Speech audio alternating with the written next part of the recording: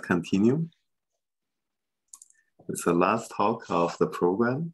So Theo Johnson-Freyd will tell us about TMF and SQFT, questions and conjectures. Thank you. Um, thank you for the opportunity to speak. And as just said, this is the last talk. So I think before everybody kind of drifts off into their checking their emails, um, we should all thank um, Kumaran and Du and Francesco and Pavel for putting together such a wonderful workshop.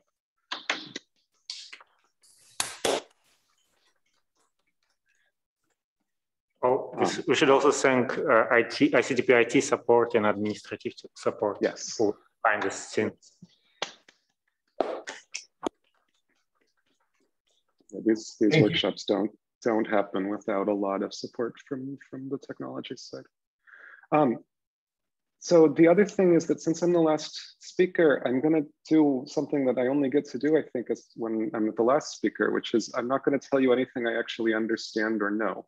My talk's going to be mostly about things I don't understand and questions that I that maybe you know the answer to, but I don't. So, um, right. So that's what I'm. That's that's the point. I'm going to talk about questions and conjectures. Um, so, but I will sort of remind a little bit about what TMF is and how it's supposed to be related to quantum field theory. Um, and if you want to read the slides at some other pace, you can download them.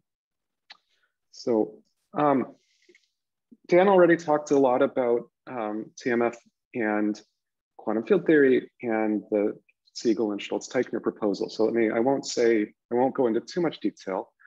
Topological modular forms are an object of derived algebraic geometry and derived number theory, at least in the way they've been defined so far by, by Hopkins and Miller and Goerss and. I probably should have put Hayes, Haynes' name on the list.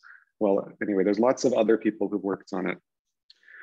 Um, and to really work with topological modular forms is to work with modular forms. They're objects, as I said, they're objects of number theory and, and, and algebraic geometry, more homotopized. So the machinery that you need to do to work with them um, at a, is to do things like tracking actions by Galois groups and tracking descent data um, for, and, and really handling, um, you know, spectral schemes over Z, that kind of object.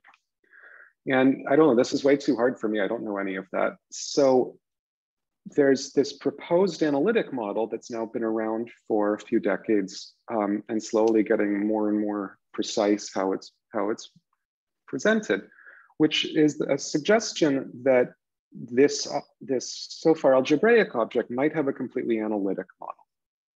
And the analytic model that's proposed is some version of the following moduli space, that, the, that a space is presenting TMF should be the space of, of super quantum field theories in two dimensions with um, n equals zero, one of degree bullet, that's the degree, and they should be compact. And in the next two slides, I'll say what all of those words are supposed to mean.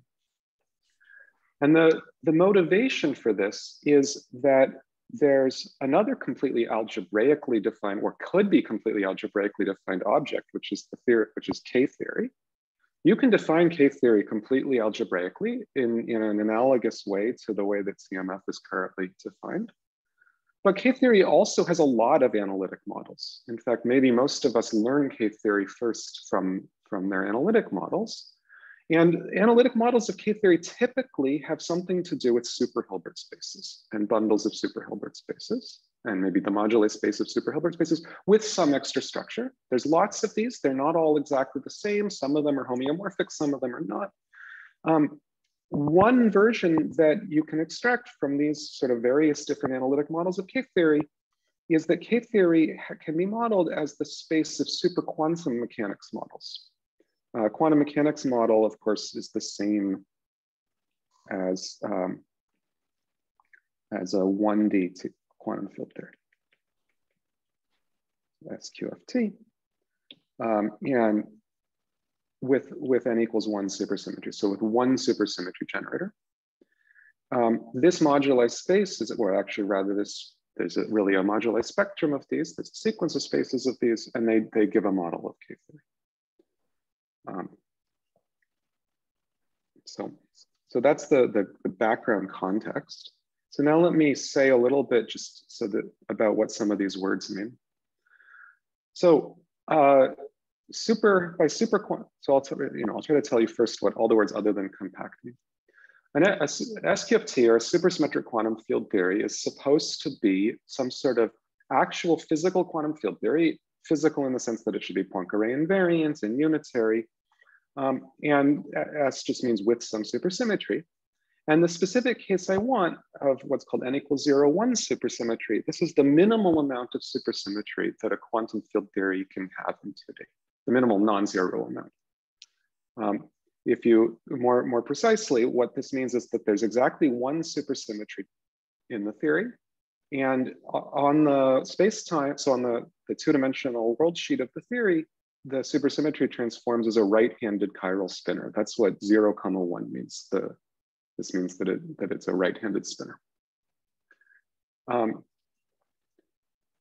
these are these have been around for for longer than than any of us, most of us have been. I don't know. There could be some old people in the audience. But, um, the topology that the space of super of quantum field theories or super quantum field theories should have, if a proposal like this is going to work, should be some sort of effective um, topology. It should be a topology that that imposes an effective field theory idea. So the, the way that I want to imagine that I've topologized this space, of course, I don't have a mathematical definition of these. I don't know mathematically what the points in this set are, but I'm gonna pretend I did. And now I'll talk about the topology I wanna put on them as if super quantum field theories were something that mathematicians knew the complete definition for. I think we're really, I mean, Dan talked about ways that this, that we're pretty close to this in terms of, of functors from cobordism categories. So once you have this set, um, then you can try to topologize it. The topology that I want is one in which theories with the same low energy behavior are close. Um, that probably doesn't, that slogan probably doesn't completely nail the topology, but um, it, it gives the idea of the topology.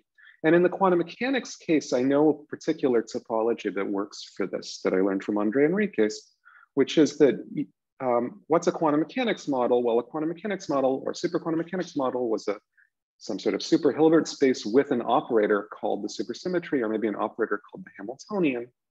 And the topology that works to get this, to get the, um, the theorem, the motivating theorem, was that um, you can use the topology of strong convergence of the resolvent of the Hamiltonian. So that's a topology that, that does the job. I don't think it's the only one, but it's it's one that does the job. So that's what I want you to imagine, is that we're kind of taking, taking the topology of strong convergence of the resolvent of the supersymmetry. So that's what, that's what uh, let's see, I have to explain these words so far. So now let me say a little bit about what the degree of a quantum field theory should mean.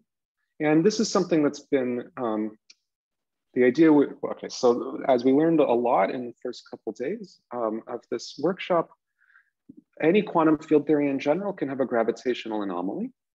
In the a super quantum field theory, I said Poincare invariant, but I could have, should have said kind of spin. So these are spin quantum field theories. In the spin case, we expect the gravitational anomaly to live in the Anderson dual to spin cobordism. And when n is two, the appropriate to sort of the anomaly is measured by um, the difference of central charges of the quantum field theory, which is always an integer. Um, and so, so I, will just say that that's the degree of the field theory. Well, more precisely, to say I have a field theory of degree three doesn't just mean that the difference of central charges is equal to three. I really should say that I've given the data of that equality. I've given an isomorphism between the anomaly field theory and some reference anomalies. And this is involved in some sign ambiguities. It won't matter in my talk, but you do have to, to do it to be precise. Theo, why the, why the factor of two? Why the factor of two? Because um, the people who first defined central charge didn't notice something that like used a, a normalization that made sense to them at the time and was appropriate for what they were doing. But the minimal chart, the minimal amounts of, of C left minus C right in any quantum field theory in 2D is a half. So the two just makes it, lets me talk about integer degrees. I don't know, maybe the answer to Greg's question is actually the mathematicians were wrong. For, for a free firm, like a Majorana fermion That's right. The minimal, the minimal amount of, of anomaly, yeah. the minimal unit of anomaly would be a single chiral fermion. I see, okay. Um, and I think actually the correct answer to Greg's question is the mathematicians got their conventions wrong.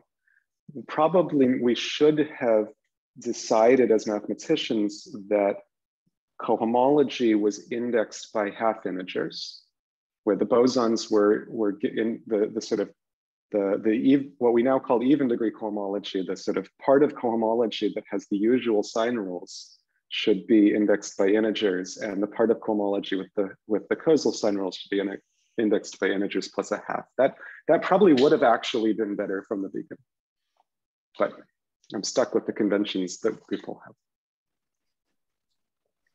Um, I should also mention that the separate central charges, C left and C right, are sort of not very good objects since I'm not talking about conformal field theories, I'm just talking about quantum field theories. But this difference of central charges is a, a very good object. In particular, it's a renormalization group flow invariant um, of a quantum field theory. Well, it's an invariant under any deformation because it measures the anomaly. Um, so now I want to emphasize one other really important word in getting the right moduli space, um, which is the word compact. And this is a notion that, that goes back a long time that, that I think the definition that I think is probably correct was one that I think is due to Segal. A quantum field theory, I'm going to say, is compact. Okay, well, it's not a quite a definition. The, the idea of the definition is that a quantum field theory is compact if its Wick rotated partition function converges absolutely. And now you have to implement that slogan in whatever definition of quantum field theory you have. In quantum mechanics, I know what that means. In quantum mechanics, the Wick rotated evolution is minus is the exponential of minus tau times the Hamiltonian. And to say it converges absolutely on all space times is to say that this operator should be trace class for every positive, um, for every positive imaginary time. Um, in, in in other models, if you think in terms of path integrals, then I kind of want you to imagine that the path integral converges absolutely. But I don't really want you to imagine that because I don't want you to imagine that every quantum field theory is described by a path integral. Um, compactness is also kind of really implicit when we talk about fully extended quantum, topological quantum field theories. Anybody who's from that world, compact fully extended topological quantum field theories are the fully dualizable objects and of course, there's lots of work that you might be aware of about kind of non-compact quantum TQFTs.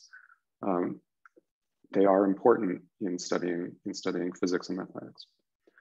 Um, some examples, sigma models with compact target are supposed to be examples of compact quantum field theories.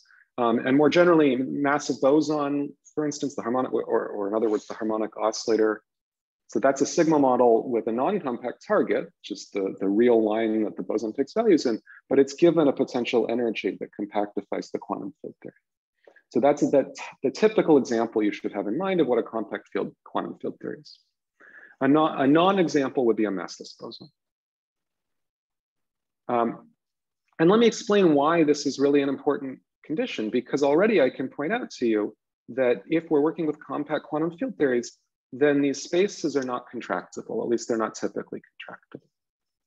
And the proof of this is that there's a very famous um, a thing that I'll talk about in a little bit more called the Witten genus of a, of a 0, 1 field theory. It's an appropriately normalized partition function on non-bounding spin non-bounding tori. And I, I'm mandating that partition functions are well-defined objects, that they're absolutely convergent. And so this is a thing which can be non-trivial and it's um, and it's well defined. And then a very famous calculation that I won't remind you points out that actually this is a locally constant map, that the partition function of every quantum field theory is a weakly holomorphic modular form, and that it actually depends locally constantly on the quantum field theory. And so, so the existence of the Witten genus convinces you that, my, that the space of compact field theories um, is already not trivial. It's not contract, not trivial topologically. I want to, to contrast this with the case if I dropped compactness. If I dropped compactness, then you could deform a quantum field theory through a non-compact example, and it wouldn't have a partition, uh, Witten genus, and so there's no reason for the Witten genus to be constant because it's not even existing. And this um, means in particular that I think it's, so Seiberg a couple years ago at um, Strings conjectured that um, for any fixed anomaly dimension and any amount of supersymmetry at all, if you take the space of non-compact quantum field theories, that moduli space is contractible. So it's really important that we put compactness in the definition. Um, so already, okay, this is a nice conjecture for physicists to think about. Maybe it's the first question I'm, i really want to flag is, is see if, if you believe Seiberg's conjecture. Okay, so that's the, the context. So now let me explore um, this, this proposal um, of how, of how SQFT should work. Um, Greg asks, is there, there is some nice literature showing that elliptic genera of some non-compact objects are mock modular forms. Greg is completely correct, and I'm not gonna address it in this talk. Um, but I will point out- It wasn't defined, but I think it is defined. Um, well, let me point out that the mock modular forms for those some, so it's not true for all non-compact CFTs. Um, you need only mildly, the, the, the non-compactness has to be quite mild. And if you deform one of these, you can actually just deform the mock modular form. It's not a, an invariant of the, uh, like it's not a deformation invariant. It doesn't, so that's still consistent with the fact that, okay. the space okay, of these is, um, might be contractible. I see, okay. Um, so anyway, I wanted to, to say some things that, that um, that I really don't know the answer to now. So, so my first sort of thing I really want physicists to, to tell me. Um, physicists have told me that, that spaces of quantum field theories in general should have a flow on them called the renormalization group flow. It's one of the most important things that modern physicists care about. Um, and and the, the slogan is that renormalization group flow is a thing which rescales the metric and a priori, its fixed points would be scale invariant theories. If you make the words, if you can somehow force the word scale invariant to be a sufficiently local notion, then the RG fixed points are the conformal, or in the case of supersymmetric field theories, superconformal field theories. Um, RG flow in different dimensions feels very different, and it feels different depending on whether you're talking about unitary field theories or not. In the two-dimensional case, um, for unitary field theory, Zamolodchikov basically explains that our RG flow is a Morse flow. He writes down an explicit function, which, well, his function isn't quite the Morse function, but some modification of it is a Morse function for RG flow. I, I'm saying it's a Morse function, but it's not a Morse function. It's just definitely not a Morse function. It definitely, the, the I told you that what the critical points of the flow are, they're superconformal field theories probably the space of superconformal field theories is a finite dimensional manifold, or at least is sort of finite dimension. So in some sense, one would expect that this is a Morse-Bott problem. Um, and making this, this kind of clarifying this would be really good to do. As I said, I'm telling you things I don't know the answer to. Whether Morse flow, whether this picture of quantum field theory is useful or not will depend a lot on whether you can actually do Morse theory with it. And one of the things when you do Morse theory is you'd like to be able to flow any uh, point in your space to a fixed point, because then if you're, then you can model your space, you can build it up from the bottom um, just by looking at the, at the critical loci. So big question that, that Greg tells me he thinks the answer is no for, so I'll just already anticipate that. Um, is is the, is the downward RG flow, um, does it keep you in the world of compact theories? So it's spelled out, what I'm asking is if I give you a 2D, let's say superconformal field theory,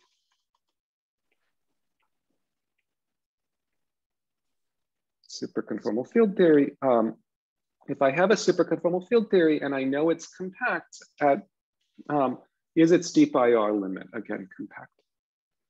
Um, and, and I think, well, I, I haven't anyway, we can, this is a question I'm not going to discuss my, my beliefs about it. I think it would be really nice if this were true, because if it were true, then the space of superquantum field theories could, as I said, could be studied Morse theoretically. You could model this space by, by saying, rather than trying to define what are all superquantum field theories, I could just define the superconformal field theories. That's a much easy, that's a much more within reach notion in mathematics to in sort of mathematical physics. And then maybe you can figure out what the RG flow lines are between super conformal field theories. And then the whole topology of the space would be a kind of zigzag topology where two points in the space are connected by a path if you can flow by a zigzag of RG flows between super conformal field theories. So I think it would be really interesting to develop I think it would, it might be within reach for mathematicians to build a model of possibly TMF, certainly a model of some elliptic homology theory, whose points are not all super quantum field theories, but whose points are the super conformal field theories, except with kind of zigzags of RG flows as the topology. And then I also want to just flag, okay, I even covered it up, you can't see it, that um, none of these spaces are really spaces. They really are inherently stacks. The space of superconformal field theories really does have, have um, points with lots of automorphisms. And so you really want to do all of this. Um, you'd really need a sort of Morse theory of stacks instead. Maybe that exists, I don't know, it's not my area of expertise. Okay. So this is about the moduli space of superquantum field theories. Um, and now I'd like to tell you why it's supposed to be a spectrum if I want to if I want to claim that it's a model of TMF or that it's a possible model of TMF, I should tell you why, why it's a spectrum. Sorry, can you say um, again why it's uh, supposed to be a stack? So there are theories with automorphism, but we're not really quotienting by these uh, morphisms, right? Well, I've been very cavalierly talking about the set of all of these, but there isn't, a, you know, in any definition, that set isn't a set. It's, it's, um, you know, if you, if you like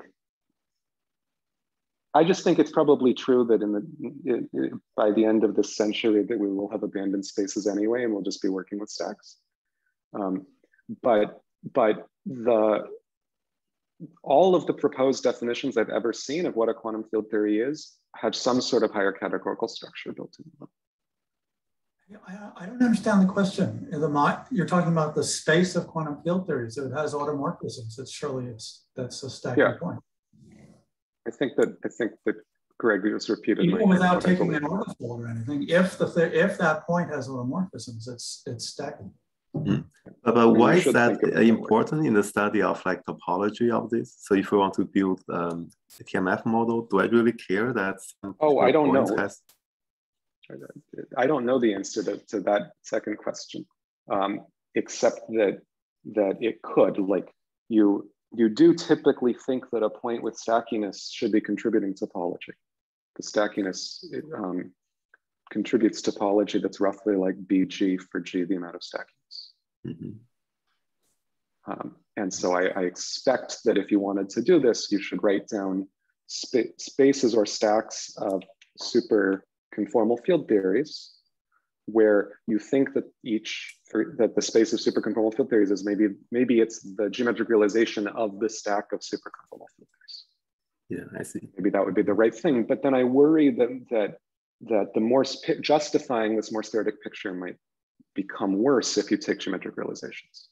And maybe you should, to justify a Morse theoretic picture, you should work with actual stacks um, in a geometric context where you can do where you can do more stuff, where you can can take derivatives and that kind of thing. Yeah. Tangent yeah. spaces.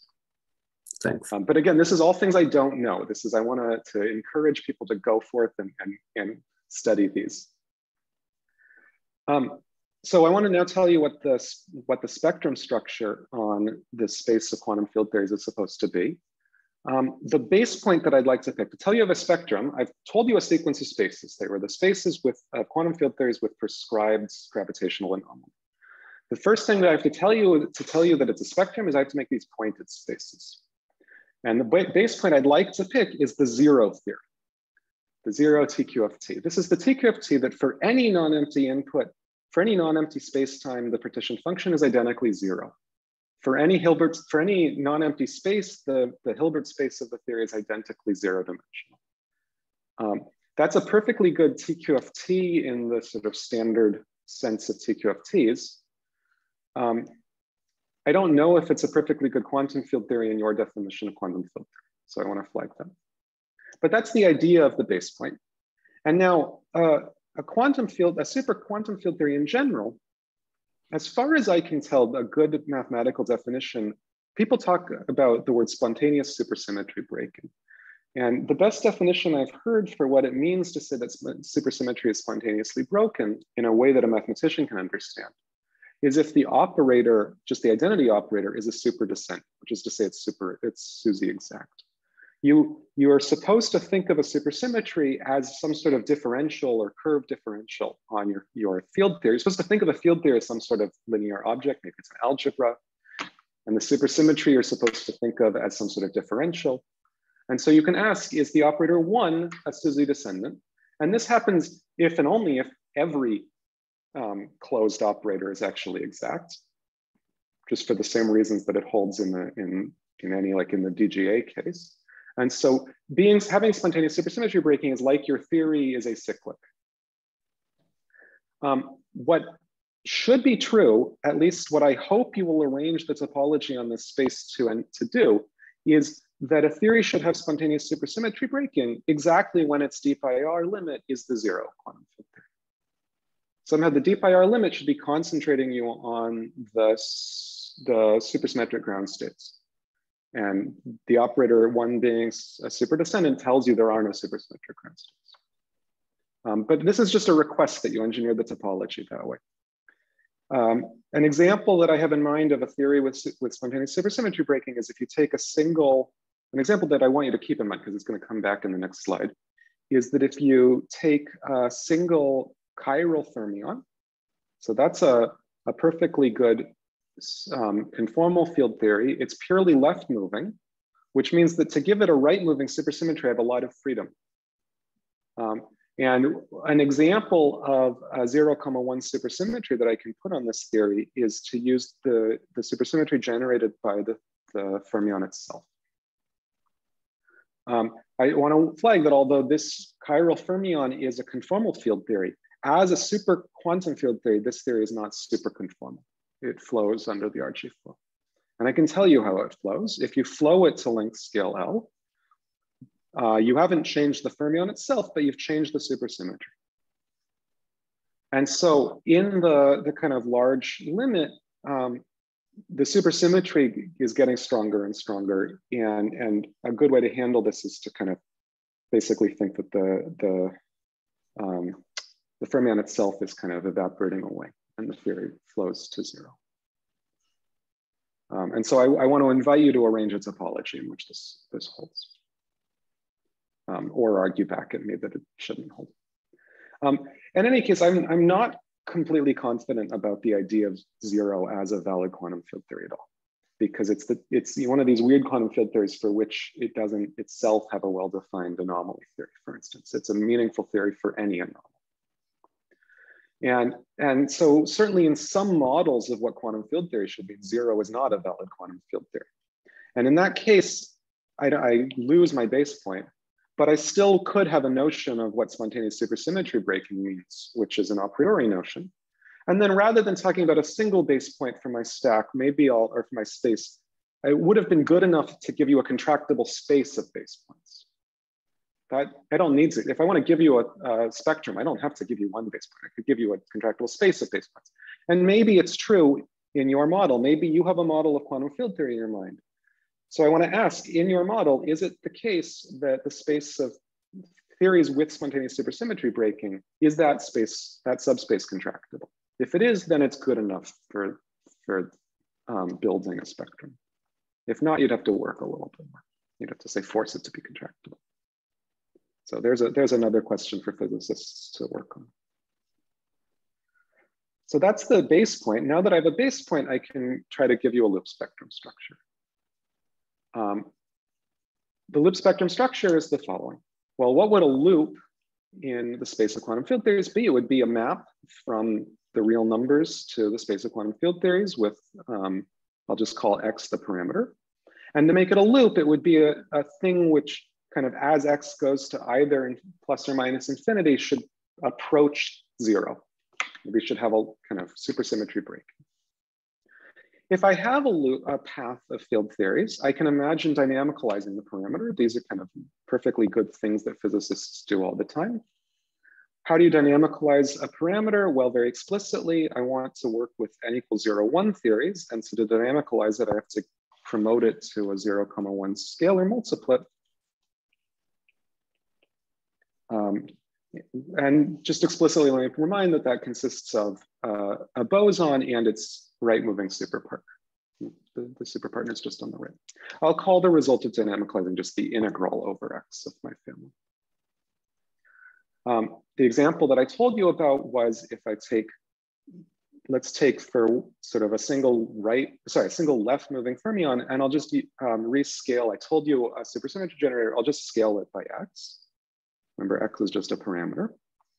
Um, now, when I when I dynamicalize x, the full result of dynamicalizing it is, well, I already had the chiral boson fermion from my original theory.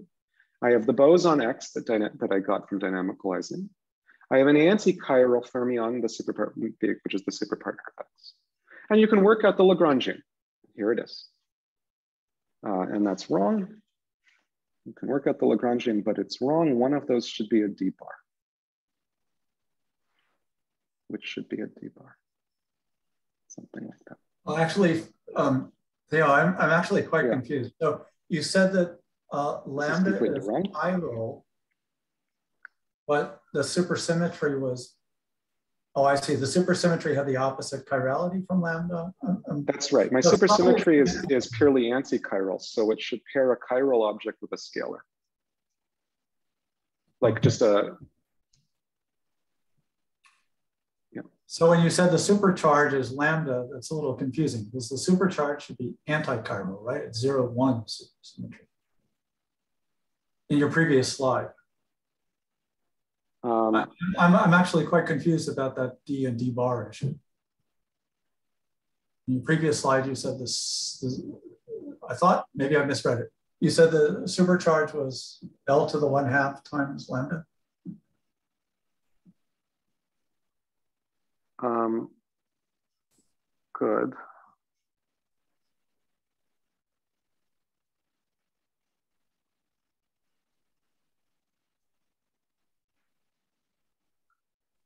So what I maybe I wrote the wrong you formula. You mean the dual of lambda of something? Some yeah. Kind of... What do I want? I want something like the the thing which differentiates and sort of takes d by d lambda. So what I want is something like that the super that the what I what I want is something like um, I want something like the supersymmetry operator of lambda should be one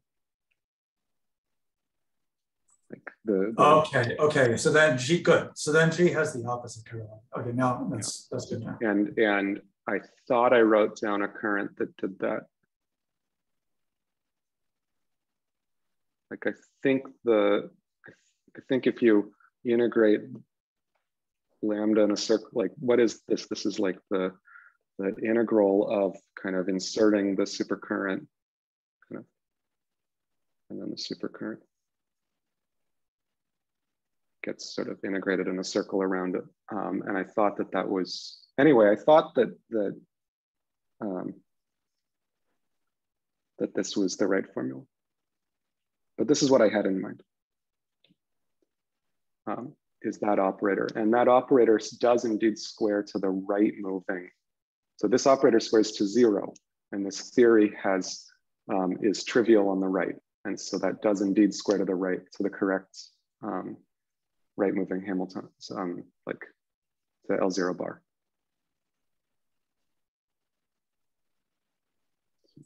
Thank you. Yeah, that's much clearer. Um, and as I said, this was this was wrong. Um, so okay, with with exercise because I can't do it, I wrote the wrong formula. But the thing you're supposed to conclude is that after doing this procedure, um, the theory becomes massive. And, and another way of saying that is that the deep by the massive, the theory, like the, the results of this integration is not a TQFT, it's a massive dynamical quantum field theory, but if you flow it to the deep IR, you get the TQFT called one. This is the TQFT whose partition function is identically one, its Hilbert space is identically one dimensional and so on. So what I'd like you to do now is um, now I can tell you kind of what should be an equivalence between these, between either taking paths in the space of quantum field theories or quantum field theories of degree one less. Let me point out that this dynamicalization procedure does indeed change the degree by one. It changes the degree exactly because of the, the super partner being kind of turned on. So it does change the, the gravitational anomaly. Um, so on the one hand, if I have a family of theories, I can dynamicalize and get a theory in one degree lower. And on the other hand, um, if I have a theory in one degree lower, I can just tensor with this family of theories and get a family of theories. Um, and, and I have talked myself into believing that these two maps are uh, homotopy equivalents. Um, of course, there's some things that should be handled, like, is it, you know, when is it true that actually, like how, basically, I said I had a family of theories. Presumably for the results of dynamicalizing to be compact, that family had better kind of approach zero quick enough. And so having some clarity about exactly how quickly the family has to approach zero um, would really be nice to, to do. Um, okay, so that's supposed to tell you why this should be a spectrum. Okay, so so let's let's talk about some things once you sort of have, have come to believe this um, Segal-Stolz-Teichner proposal. So I mentioned already that there's a, this Witten genus from the space of super quantum field theories to the space of modular forms. Um, I should say I'm doing, I'm like indexing cohomologically. So this actually takes me from, a, um, it ends up in modular forms of weight uh, minus bullet over two. Um, for, because I'm using cohomological indexing. Um, the formula is really straightforward. I think Dan also wrote it down. You can take the Ramond sector Hilbert space for your quantum field theory, which is to say the Hilbert space on a circle with non-bounding spin structure. And you can take the partition function for non-bounding spin structure in the time direction. Putting non-bounding spin structure in the time direction is, is sort of either taking the super trace or taking the trace with a minus one of the F inserted. Any contribution from Q bar drops out, so you just have a, a Q to the L0 minus um, the central charge, left moving central charge. This is completely standard. And um, then I'm gonna, I'm just gonna put in a factor of an eta function, which is a convenient normalization. And then there's a completely convention dependent square of eighth root of unity that I should also put in that I'm gonna, that doesn't really affect things very much. Um, and and just to remind, by eta, I mean Dedekind's eta, it's a 24th root of the modular discriminant. So this is, this is a sort of by now quite well-known object from, um, that you can do with quantum field theories. And it's supposed to match another quite well-known object which has the same name, which is called the Witten, also the Witten genus, which was on kind of top TMF itself, also landing in modular forms. I want to flag that these are a priori given very different formulas. Here I gave a kind of nice physics formula and um, my pen has decided to stop working, which means I don't know why. Maybe it's out of power. Um, sorry, my, my pointer decided to stop. Um, so the, the the Witten genus for modular forms, if you like think that, mod, that TMF is defined the way I said about derived algebraically, then the Witten genus is, is given by an edge map on spectrum in a certain spectral sequence. Anyway, it's something that's been calculated. Another question I want to propose that's a sort of another physics question. Um, so if you look at the formula at the top of the page that I cannot seem to point to, because my pencil, my Apple pencil has died um, then the there would be a reason for us, you to just get a power of eta, for you to just, or in, in particular, just a power of, of delta, um, if also supersymmetry made the Q dependence drop out. Which is to say that one reason why you might end up just with powers of, of delta is if you if your supersymmetry enhanced from 0 comma 1 to actually 1 comma 1 then the, the, the Witten genus would just be a, a count um, and not actually a modular form. And so another question that I think we should we should work on when we're engineering, like when we're talking about kind of really probing this this proposal, is is is it true that in fact every value that you expect, every um, so we know which powers of which multiples of powers of delta should arise as the Witten genera of TMF classes. Is it true that they all arise as the Witten genera of theories with one comma one supersymmetry? Like I think we should, when we're, when we're trying to build those, that's where to look. Okay, yeah, I'm, I'm gonna keep sort of powering through with a bunch of questions because that's the fun part. Okay, um, other things, you, so more precisely, what Hopkins calculated was that we know exactly which multiples of, so powers of eta don't arise except for, um, I'm really annoyed that my Apple Pencil died. Powers of eta don't arise except for um, powers of delta, and that has an easy explanation in terms of modularity. Um, and not every power of delta is the Witten genus of a TMF class. Rather, the um, k delta to the m is a Witten genus exactly when k times m is divisible by 24. So another way of saying that is that the minimum k, so that k delta m arises, is 24 divided by the GCD of 24 and m. And, um, and I know how to engineer some of these minimal powers of delta. Um, for instance, John Duncan's um, super moonshine field theory um, is, is something you can go look up. It's, it's a lovely paper and it realizes 20, the left moving version realizes 24 delta inverse. The right moving version realizes 24 delta. Um, as an example, something you can do from this is that, well, you can then take powers, say, of the right moving version. Then you realize 24 to the m times delta to the m. That's 24 to the m is some astronomically large number. You could also to the permutation orbifold um, of this power, and you'll realize some power, some also astronomically large number. And a cute calculation of Gaiotto that was basically just Mathematica, he went and asked Mathematica, um, shows that indeed the GCD of these two numbers does is the minimum expected um, K.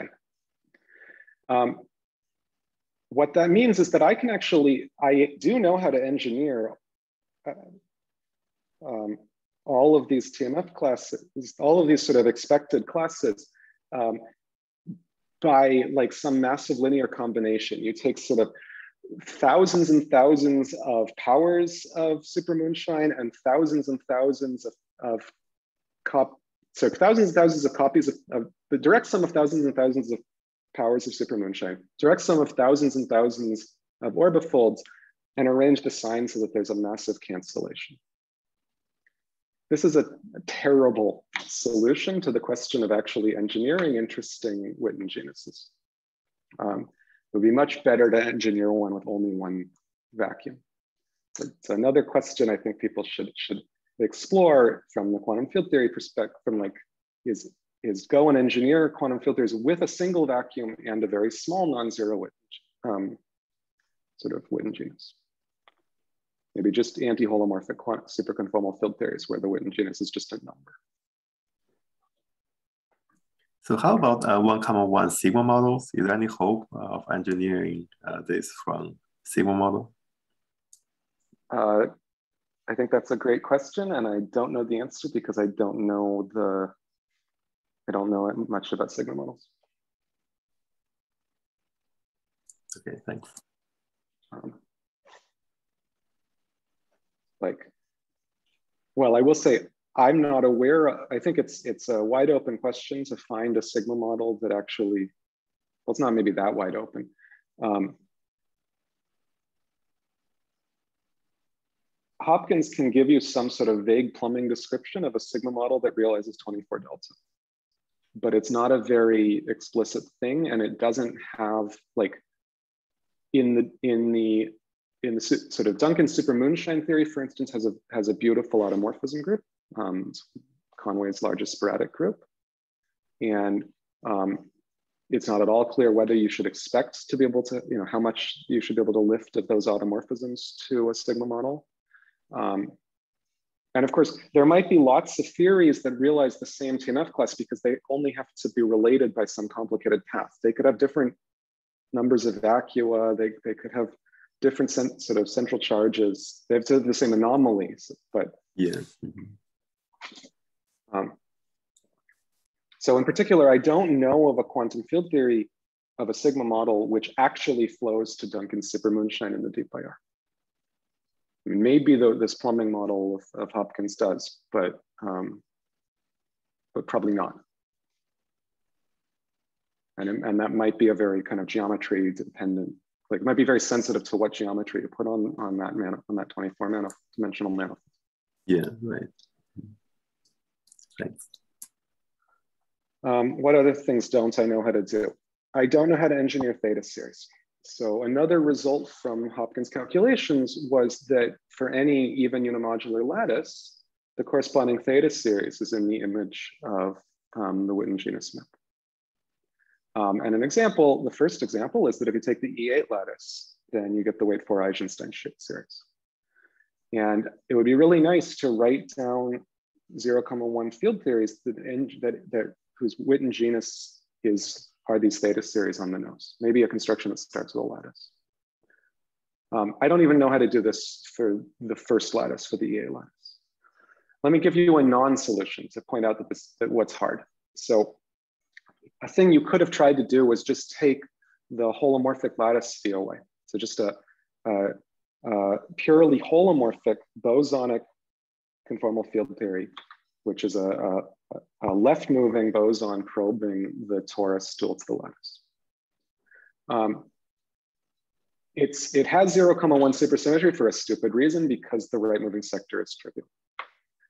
Um, and you can ask, what is its, what is its Witten genus? Perfectly good question. The answer is not the theta series because um, the answer is the theta series divided by some power of eta. Um, and, and of course it's not because this is a purely holomorphic object.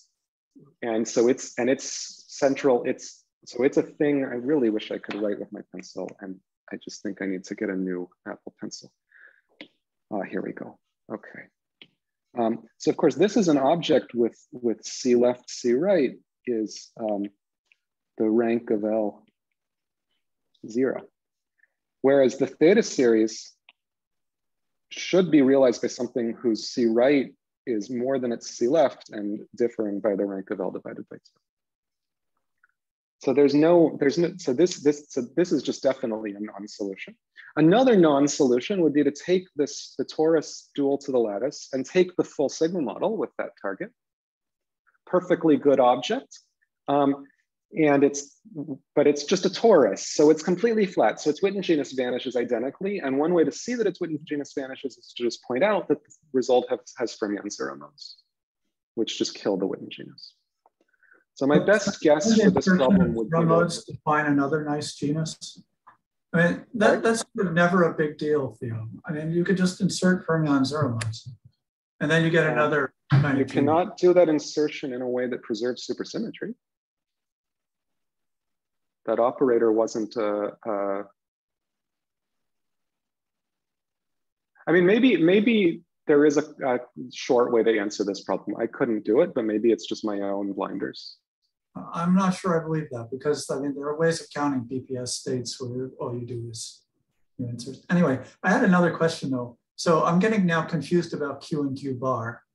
I mean, your supersymmetry was on the right, and you had yes. trace minus one so strictly speaking, did you really want to say trace minus one to the FQ bar to the L naught bar minus C over 24? Yeah, I should have, that's right. I should have said, well.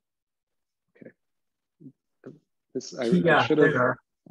I could and have inserted. It would just be annoying to put the bars on everything. But no, I mean, I really, I did mean what I wrote.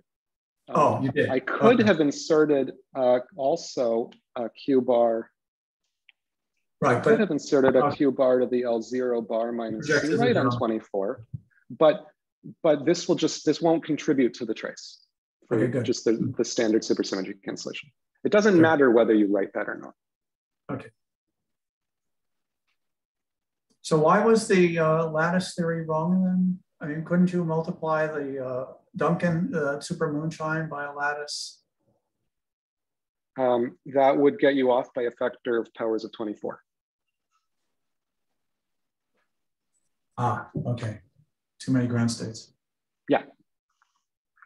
I thought there, there is a eight manifold, eight bond manifold. Um, that sigma model on that will give uh, this weight four Eisenstein series. You this take the E8 plumbing and then uh, boundary some exotic uh, seven sphere. So you take uh, 28 copies and then cap that off.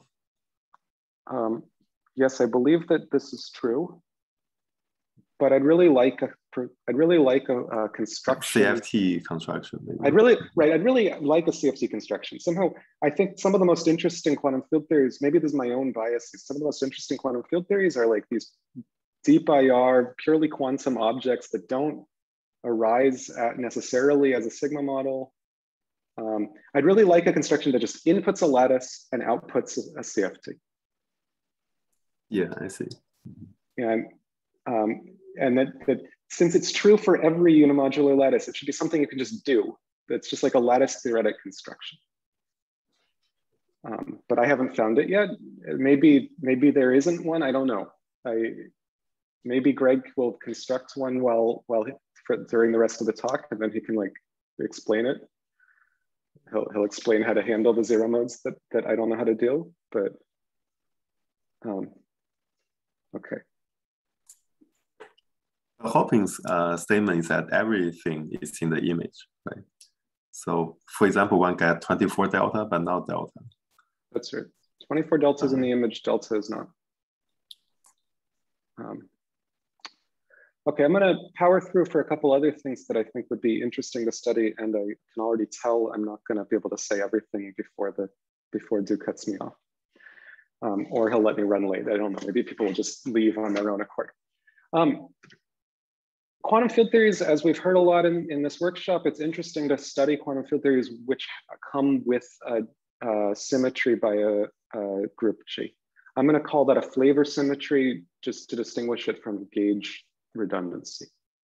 Um, I don't know, I think some, some parts of high energy physics use that language, or some parts of particle physics use that. Um, let me remind that, that there's a perfectly good theory of anomalies. I maybe won't go, maybe won't remind the details of it the total anomaly for a quantum field theory, well, there's a piece which is just the degree of the quantum field theory, and then there's the part that we normally think of as the anomaly, which is like the rest. The, the, the part we normally think of as the anomaly is like the part of spin cobordism other than the degree. So the reduced spin cobordism of the group. Um, and what you should expect is you should expect that if you take everything I've told you so far and just enhance it with G symmetry and prescribed anomaly, then you'll get a model of TMF. TMF G-equivariant TMF has been constructed by Lurie. It can indeed be twisted by anomalies of this type. So, um, so this is a, a meaningful expectation. I'd also like to remind something that I think we've also heard in this workshop that a good way, not the only good way, but a good way to study a quantum field theory with some symmetry is to replace that standalone quantum field theory by a boundary condition for gauge theory. You can take G gauge theory, you can place a boundary condition on it, which is basically your theory Q with Neumann boundary for the gauge fields. And, and the map that takes G, that takes Q to boundary conditions for gauge theory is an, is an isomorphism um, because to get your original theory back, you put the Dirichlet boundary on the other side and, and just zoom out. The Dirichlet boundary comes with a G action. So you do get Q back as a thing with a G action. Um, that's quite standard. So once you've decided that theories with a G-symmetry are the same, at least maybe for finite groups, maybe for groups where you really feel like you understand gauge theory, you can decide that theories with a G-symmetry are the same as boundary conditions for some bulk theory. Then you can start asking about um, more general types of quote symmetry where the bulk theory isn't a gauge theory. And these are start, starting to be called words like non-invertible symmetry or categorical symmetry. Um, and um, for at least for finite categorical symmetries, we know what the most general type of symmetry a 2D SQFT can have. The symmetry would be described by any 3D TFT. These are super, so spin objects 3D spin TFTs are described by um, spin modular tensor categories, or rather, sorry, super modular tensor categories. So you should expect that for any supermodular tensor category, you know, this is maybe now a conjecture. I don't think anyone's done this completely, um, that for any supermodular tensor category, there should be a meaningful notion of TMF um, equivariant for that modular tensor category. Um, this is now, I've switched from physics conjectures to math conjectures. Mathematicians, please go and build this.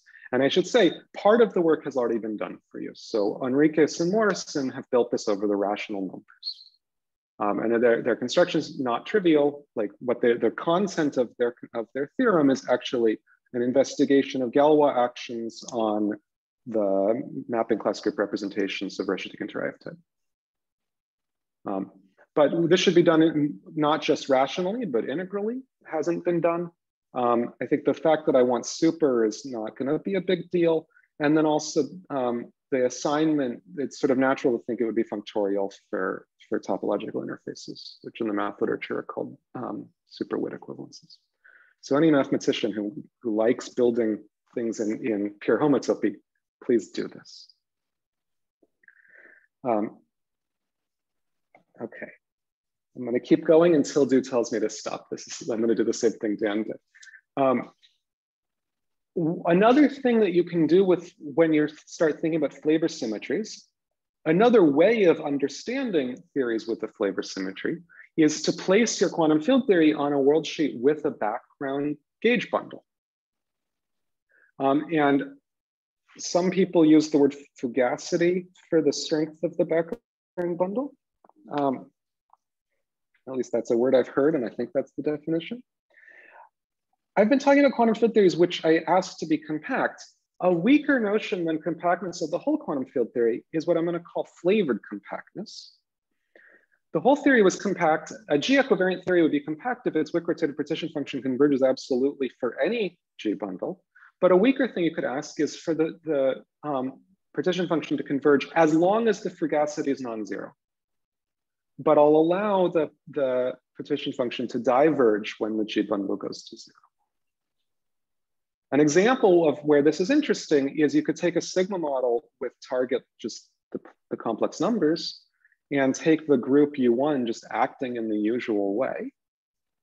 Well, if you ask what happens to a string probing this, this target space with non-zero fugacity, the string can't get very far away from the origin because if it tries to get far away from the origin, well, the, the symmetry rotates the other end of the string to somewhere else. And so the string gets pulled tauter and tauter the further away from the origin it. So the end result is that at non-zero fugacity, I'm actually looking at a harmonic oscillator. And so this is a theory which is flavored compact. And indeed, you can write down the kind of Witten genus as a function of the fugacity in a problem like this. And the, the naive thing you write down will diverge when the fugacity goes to zero, but will be a meaningful kind of uh, meromorphic Jacobi object. Um, so, so let me just ask, maybe I'll ask the mathematicians to, to investigate flavored compactness. Flavored, this is like flavored compactness is just a thing that, that physicists have already been investigating. For instance, when Greg was referencing the fact that some non-compact CFTs can give you mock modular forms, one of the ways that those arise is from flavored compact theories. It's not the only way, but it's one of the ways that they arise. And um, so some things that we should do. We should, there's a thing that people already know called level N TMF. And it's almost TMF equivariant for the cyclic group Z mod N. It's not. It's probably the flavored compact version of TMF. So we should build a version of flavored compact TMF, which, which realizes that. We should also build versions of flavored compact Bordism spectra.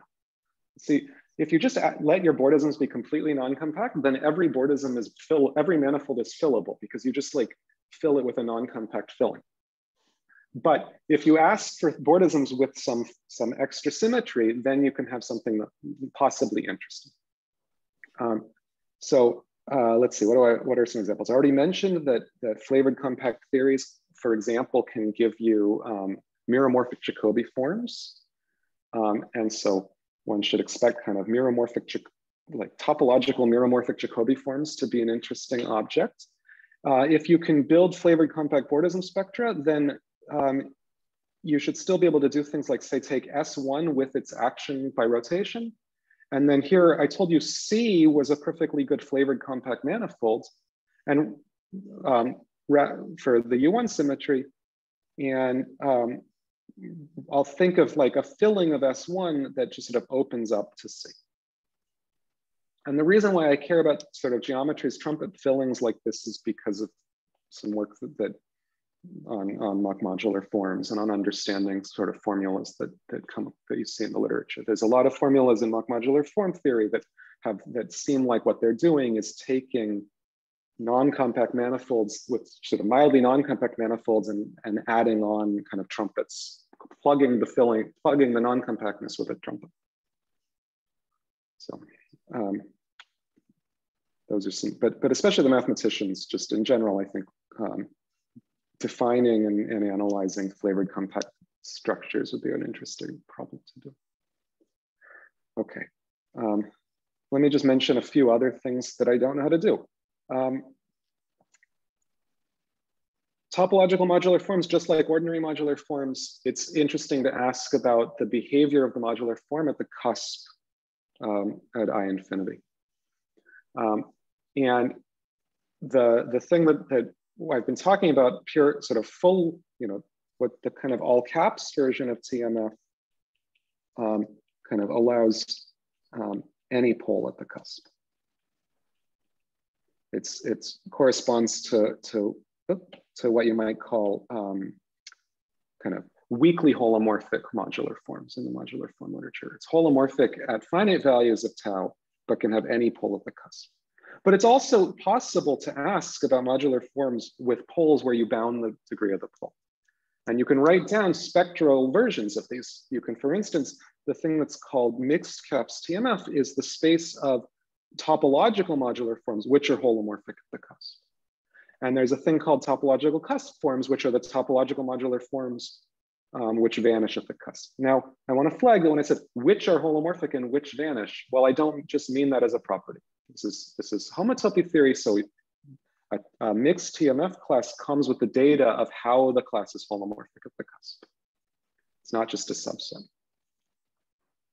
Um, I'm going to give this slide out of order because I want to sort of flag that, that um, unlike for ordinary modular forms, there are holomorphic modular, topological modular forms of negative weight.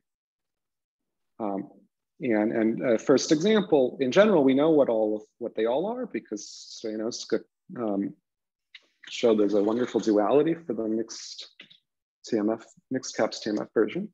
But as an example, in um, pi minus 21, so that's weight minus 21 halves, there's a holomorphic modular form, which um, a topologist might call delta inverse nu. Delta inverse is the thing that, that every number theorist knows about nu is the this um, S3 with its Lie group frame. And this should be compared to the fact that that for the all caps TMF, um, it's zero. So there's a, this interesting TM, sort of this interesting object, this interesting conformal field theory or something, which is which is holomorphic at the cusp, but and null homotopic, but um, the null homotopy moves it away from being holomorphic at the cusp. So it'd be really interesting to describe these physically. Roughly speaking, um, saying bounding the pole at the cusp is something like bounding the spectrum of L0 in the Ramond sector. This is something you can write down. I mean, you can, you can give a definition, but I don't know what the physics of it is. It's not a very physically reasonable thing to do. Um, this is not just the same as bounding the central charges. Bounds on the central charges would give you a bound on the spectrum of L0, but it might not be as strong as you need it to be. Um, for instance, just looking at central charges wouldn't have told you that delta inverse nu is holomorphic at the cusp. Um, and now I'll, I guess I'll, I'll end up just doing one last slide um, because Stu is letting me go late. Um, to just mention, you know, yet more things that I think should be done. So elliptic homology was developed somewhat hand in hand with, with notions from Moonshine um, back in the, in the 1990s. and and they they've always had a little bit of interplay to them. And um, and this maybe isn't too much of a surprise. Maybe it was just the fact that like elliptic function, like elliptic objects, modular objects were were and remain really hot. And so anytime you have something that produces modular objects, you might ask, oh, maybe does my machine that produces modular objects, is that related to your machine that produces modular objects? And by now, maybe the answer is probably no, because modular objects, there's too many of them, but maybe the answer is yes. So let me just tell you something about moonshine. So moonshine is, in general, it's about G-equivariant modular objects. Um, for instance, maybe you could do something with G-equivariant um, topological modular forms.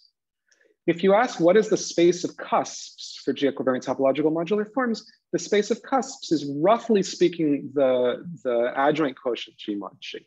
It's not quite that, the Galois actions are different, but it has that basic flavor. Um, over the complex numbers, it's, it's the adjoint quotient G mod G. And, um, and so if you have a G-equivariant modular object, it's interesting to ask about its growth at all of the different cusps. Moonshine focuses attention on things which grow in some way near the cusp, the, the sort of identity cusp. This is like the I infinity cusp, and um, grow less quickly. They're, they're, they're smoother at all the other cusps. And different moonshines have different degrees and different um, precise growth rates, but they all have this flavor that it, what makes uh, what makes moonshine objects better than regular modular objects is this kind of quite constrained growth. Let me give an example for anyone who's ever kind of listened to a lecture about monstrous moonshine, which is that I told you that Zn modular forms are, are roughly speaking level n modular functions, modular forms. Or just to say modular forms that are modular for, um, for the congruence group called gamma naught n. Um, the cusp E in kind of so G is going to be going to be the cyclic group. The cusp E is basically the cusp at I infinity, and the other cusps are the finite cusps in this translation. If you had, say, just a weight zero modular form, so just a modular function, and if you knew that it grew as Q inverse at I infinity, and that it was bounded at all other cusps, well, it's then it's a map that um, it, it ends up having to be a Hauptmodul. It, it ends up having to be an isomorphism between um, upper half, the sort of modular, the level n modular curve and just the, the um, genus zero curve. So this type of, imposing this type of growth rate is one of the ways to impose the genus zero property in modular forms, modular in moonshine. It's not the only way, but it's a way of building the genus zero property. And it's the way that that the kind of modern moonshines, the umbral moonshines build, you know, it's there, it's the version of genus zero that you see in, in umbral moonshine. So I think it'd be really interesting to study kind of topological modular forms with this type of mixed cuspidal behavior. Um, and I'll end on one last one that's sort of about moonshine and not really about cuspidal behavior, which is that in monstrous moonshine in particular, and not in the more recent umbral moonshines, um, there are also Hauptmoduln for groups that aren't contained in SL2Z.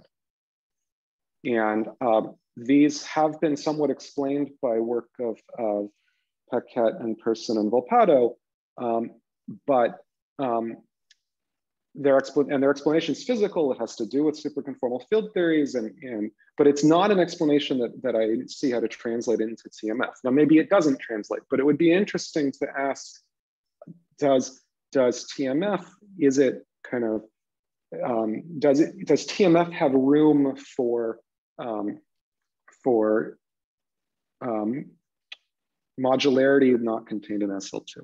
So um, I will stop there. Thank you.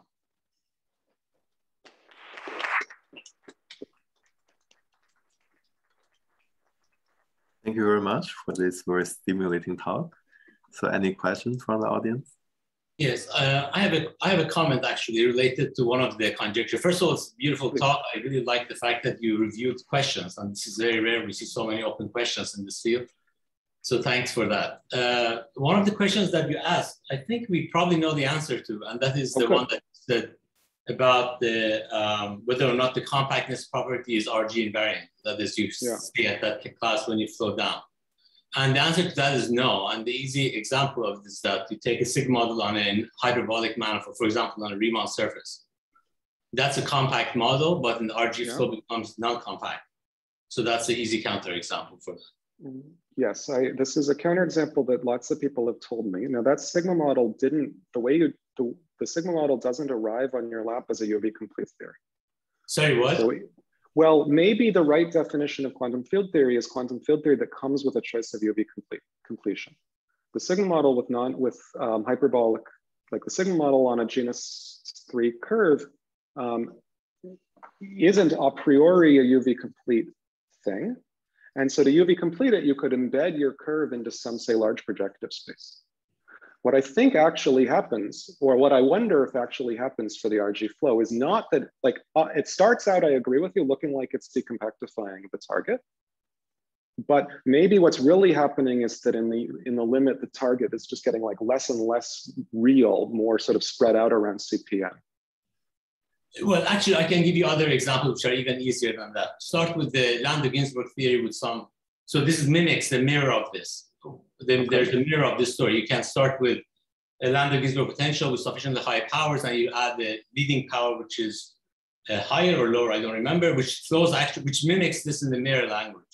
So you can actually do it from the viewpoint of a compact. So it's UV complete theory.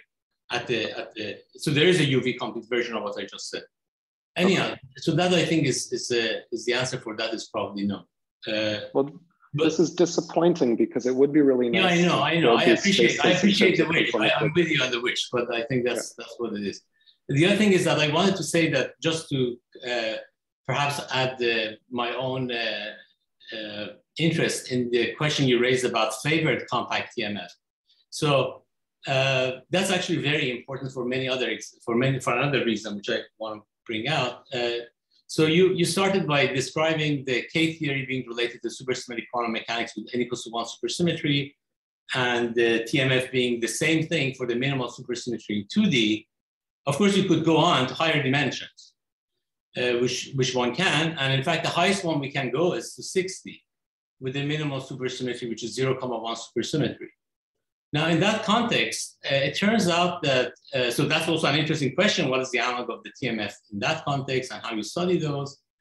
But that actually is an interesting interplay between the 0-1 theory in the 6D with the 0-1 theory in 2D by compactifying four manifold.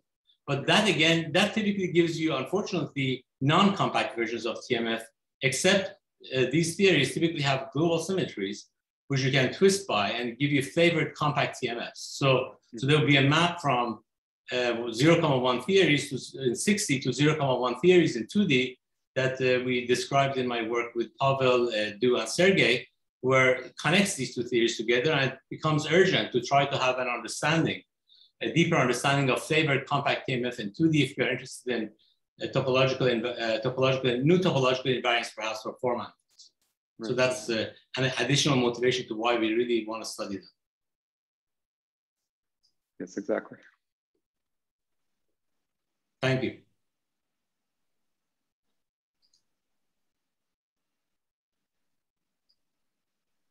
So any other questions?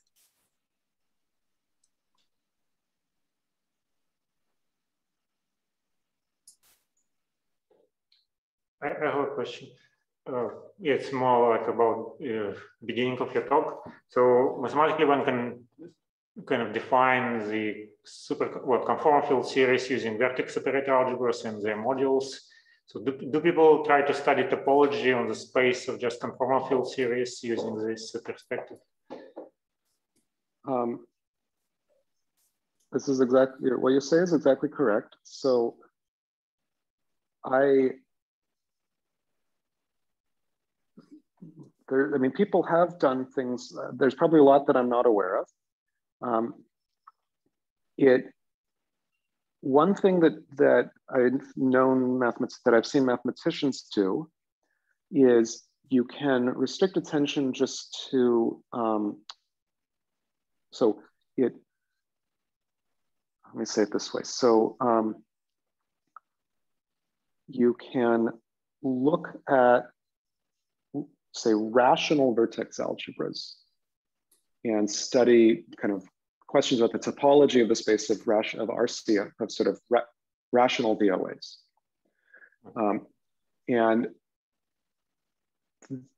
the what you would expect is you'd expect that space to be completely disconnected, and indeed it is. So so you can the you know an infinitesimal change in a in a vertex algebra is something like the the tangent space.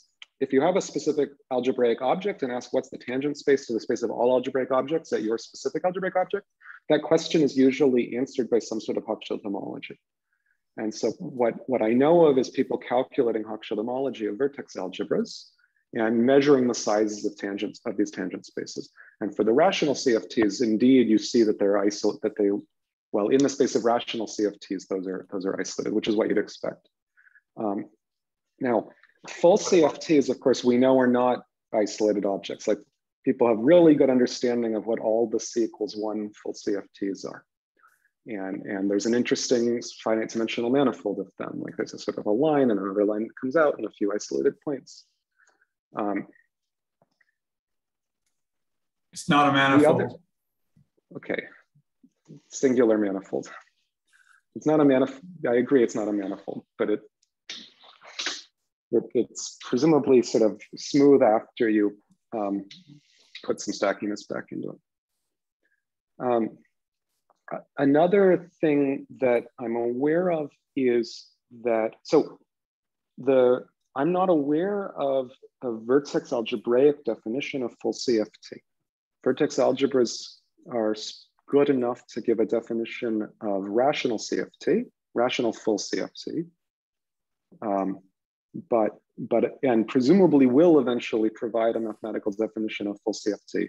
A full CFT in the rational case, a rational CFT can be modeled as a rational vertex algebra of left moving operators, a rational vertex algebra of right moving operators, and an identification of their representation categories to, to paste the left and right together. Um, presumably a definition like that will work for irrational CFTs as well in the vertex algebraic language. And it's a question of kind of doing the, the hard work of developing representation theory of vertex algebras that are irrational. And a lot of that, that works under, you know, it's, it's in progress right now by people who are not me. Um, another place where there is a definition of full CFT in the literature is, um, is from the kind of Haag-Kastler Netze von Neumann algebras perspective, which is just another way of thinking about vertex operators. And, um, and in that case, there is a, what I think is probably correct definition of full CFT, which is a, a you know, a conformal net of von Neumann algebras with mu index one. Um, and these exist in the literature. They, because they come already from the world of von Neumann algebra, they come with a preferred topology.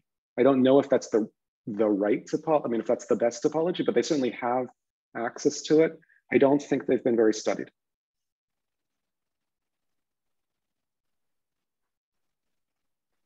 Okay, thank you. Other questions or comments?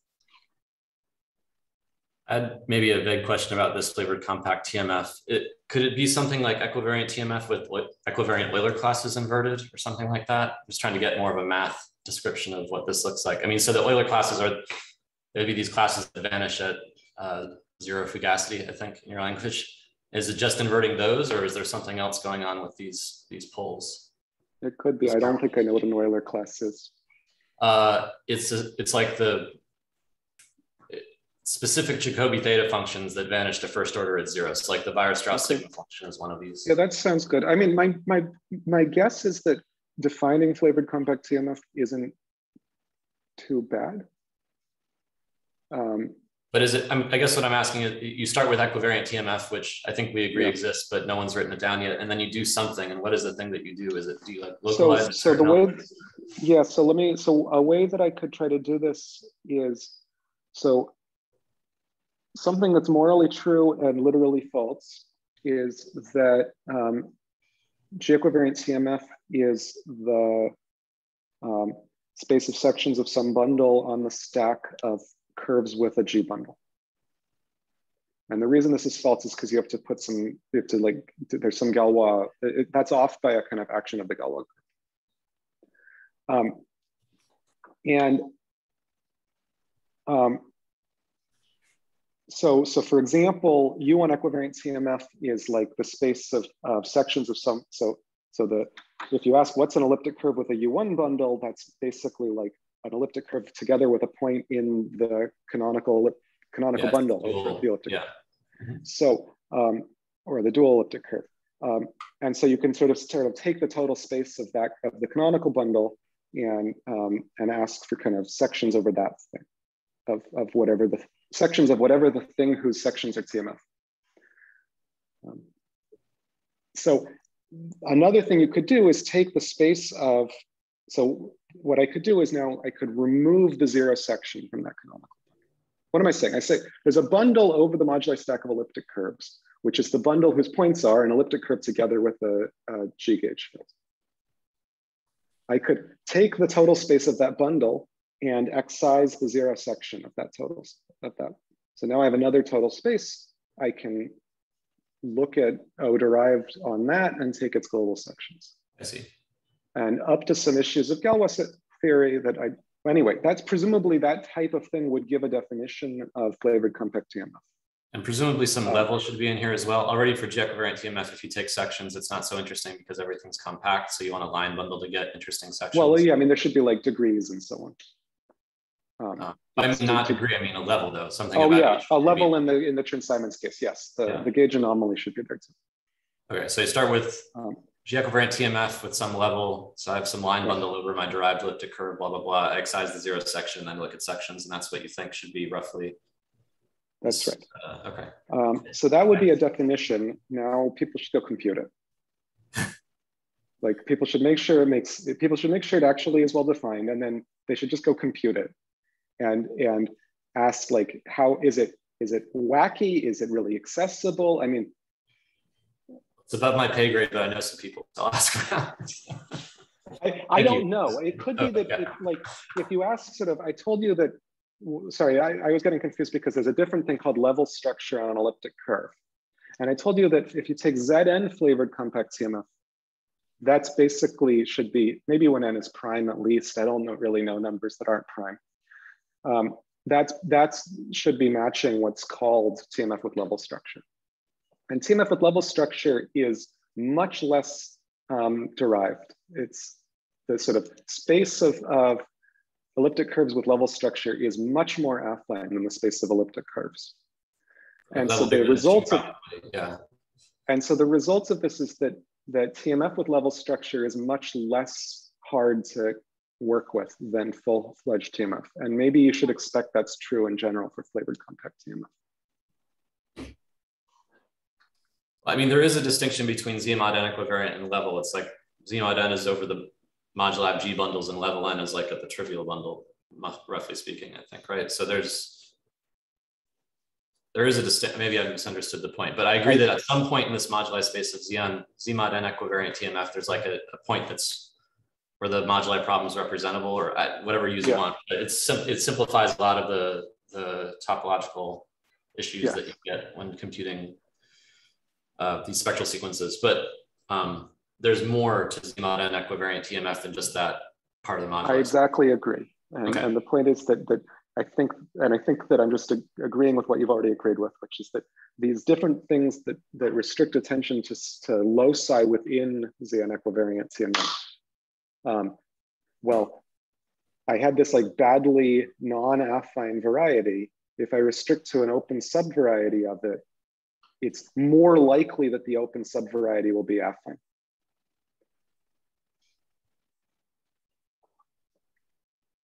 yeah, that's this fits with with my worldview, so I'm happy. Thank you.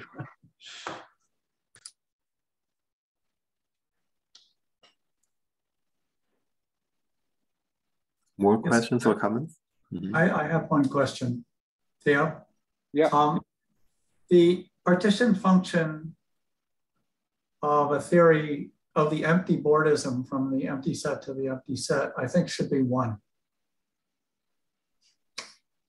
Um, I'm pretty sure that's true in well, yeah. And no. so I'm having trouble. Sorry, the partition function of the. I'm having yes. trouble understanding how that's compatible with the, the existence of the, the, zero theory. Right. So um, the zero theory is, yeah. So so I think. Okay, I'm I'm not as I said I'm not convinced the zero theory is a theory. Um, but I did say that it should be the thing that for non-empty I noticed that. Uh, yeah, that's why I didn't interrupt you in the talk. But um, should have should have zero partition functions. So, yeah, yeah. well, I do know what the zero TQFT is. That's a perfectly good like TQFTs are things we know how to define. Zero is a perfectly good TQFT. Whether every TQFT is a QFT is debatable, but it certainly zero is a perfectly good TQFT.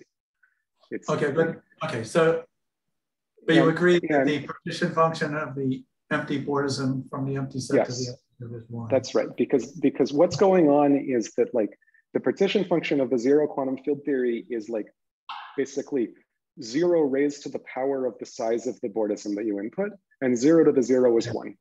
Okay, good. Yeah, excellent. Okay. Um, but zero to anything else is zero. And um, another way of saying what the zero TQFT is, the zero TQFT is the sigma model with empty target. So if you ask for any non-empty Bordism, how, what are all the maps from the non-empty Bordism to the empty target? There aren't any, so that path integral is zero. If you input the zero, the empty Bordism, there is a map from the empty set to the empty set. And so you, you take the path integral over that map and you get one. Excellent, thank you.